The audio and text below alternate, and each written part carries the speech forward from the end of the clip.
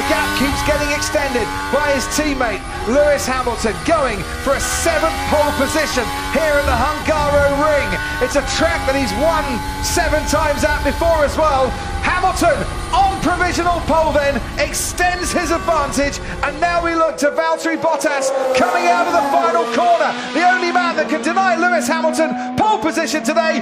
Bottas crosses the line. He's a 10th out and pole in Hungary once again.